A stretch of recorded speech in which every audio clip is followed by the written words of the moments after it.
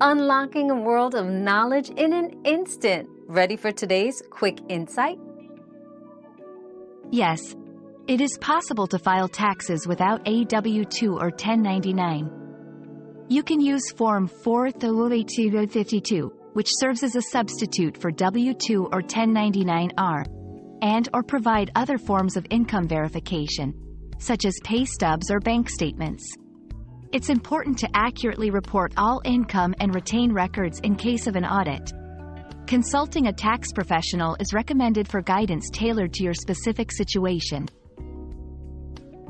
Another mystery solved, but many more await. Keep up with our daily discoveries by subscribing and turning on notifications.